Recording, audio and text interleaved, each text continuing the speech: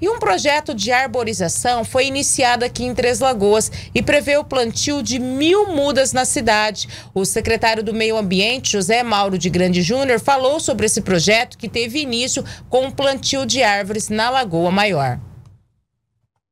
É, o projeto, a gente idealizou esse projeto já o ano passado, 2023, né? Eu venho trabalhando esse projeto junto com as diretoras minha, Maísa, a Thaís, né? A gente trabalhando para realizar esse projeto. Projeto grandioso, né? Mil árvores, né? Que Três Lagoas merece, merece muito mais, né? O meio ambiente merece muito mais, né? É igual você falou, esses fenômenos naturais aí que vem né, arrancando, derrubando as nossas árvores, então agora a gente tem que repor. Isso é sinal que o meio ambiente está pedindo socorro. Né? Então nós vamos dar o pontapé inicial aqui na, no pátio da PRF, aqui na Lagoa Maior, é, plantando as mudas e tem ao, ao entorno da lagoa, né, elas vão plantar mais, né? Vamos primeira etapa aí com 350, 400 mudas aqui na lagoa, né? Dentro delas muitas árvores frutíferas, né? Para os nossos pássaros também. E vamos sair nas CIs, que é onde seis novos, que falta árvore, falta arborização, nós vamos plantar, depois vamos para algumas escolas, e depois vamos para os bairros, né? Para os bairros menos arborizados, né?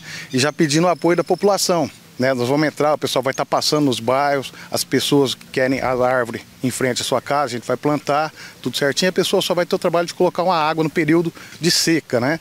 Então é, é o que a gente pede para a população depois nos ajudar, na, na terceira etapa.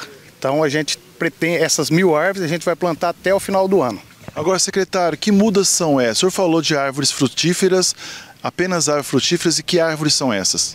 Árvores frutíferas são árvores frutíferas nativas, né? E algumas que, é, siriguela, que já não é nativa, mas nós vamos plantar também, porque não, não tem tantas nativas para suprir tudo o que precisa. Então essa aí ajuda os pássaros também, né? São árvores que crescem rápida, rápido, mais rápido, né? Então a gente vai plantar essas árvores aí. E dentre as outras são árvores nativas que do nosso do nosso bioma aqui. Ou seja, tem uma preocupação também de manter aí o bioma do cerrado, né? Já que essas árvores também são questão das raízes, para que elas não possam cair futuramente.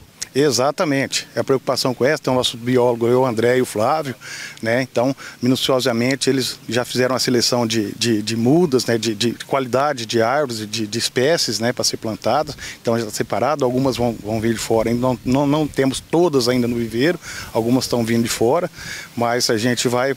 A preocupação é essa, é o bioma nosso do Cerrado.